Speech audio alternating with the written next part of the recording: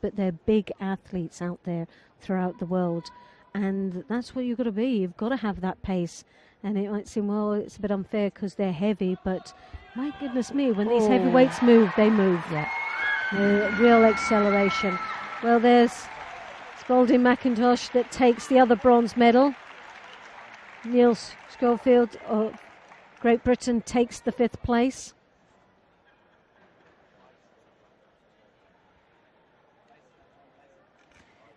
Yeah, Theo's uh, considerably smaller in stature, but uh, got in lovely there for a, a Ura-nage. Has some nice judo. yeah. Uh, It's quite very, very powerful, explosive judo.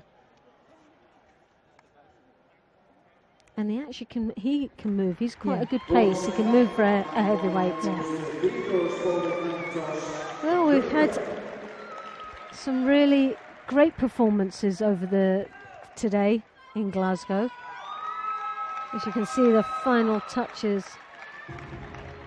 And we're just leading up now to the last match of the tournament, the plus 100 final